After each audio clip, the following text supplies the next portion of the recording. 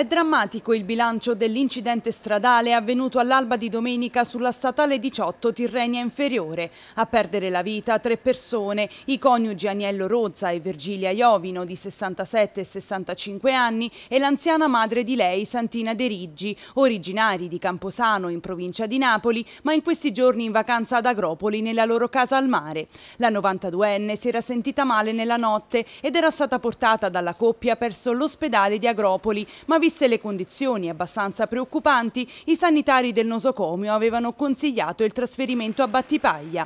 Senza aspettare l'ambulanza, i tre si sono rimessi in auto diretti al Santa Maria della Speranza, una corsa contro il tempo finita però in tragedia. Secondo una prima ricostruzione, l'Audi A4 con al volante il 67enne militare in pensione, all'altezza di una rotatoria a Cioffi, frazione rurale di Eboli, ha sfondato il guardrail e scavalcato il muretto, finendo nel nel piazzale adiacente l'intersezione stradale dopo essersi ribaltata più volte.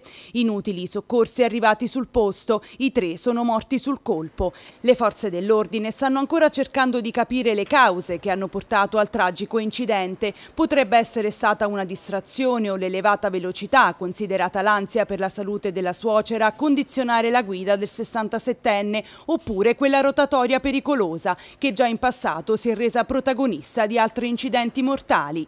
Intanto le salme delle vittime sono state sequestrate negli obitori di Battipaglia Eboli in attesa dell'esame autoptico. Come nelle mani dell'autorità giudiziaria è finita l'Audi A4 che nei prossimi giorni potrebbe essere sottoposta a ulteriori accertamenti per appurare le cause di questa tragedia.